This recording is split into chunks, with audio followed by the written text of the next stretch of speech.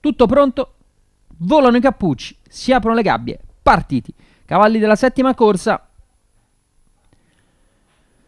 Yellow Red Dream è il più lesto a partire dallo steccato largo e si porta a condurre anche se pur incontrando l'opposizione interna di Ich bin Ich.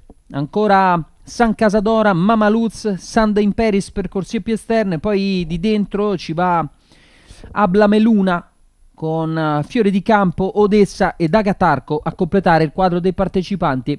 Si procede così, tutti dietro a Yellow Red Dream che è sempre saldo leader.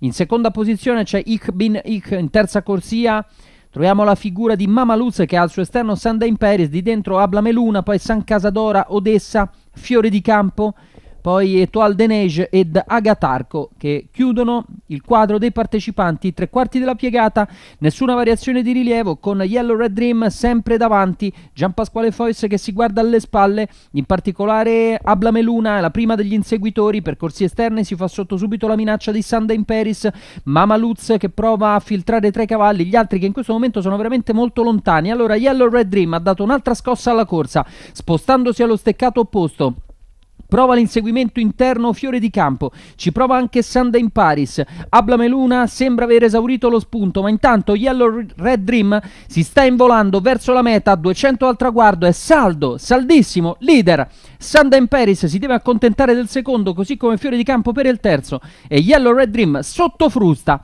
realizza il colpo del giorno Gamble Landed da 16 a 2,50. Yellow Red Dream vince da un capo all'altro nei confronti di Sunday Imperis al terzo Fiore di Campo.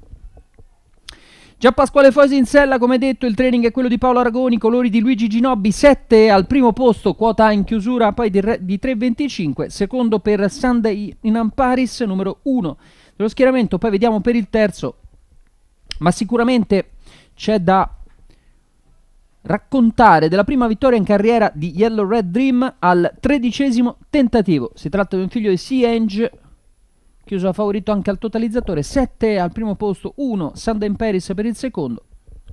E poi, a titolo di cronaca, il terzo, che adesso vedremo transitare sul traguardo, che è Fiore di Campo. Da Capannelle per la settima, è tutto.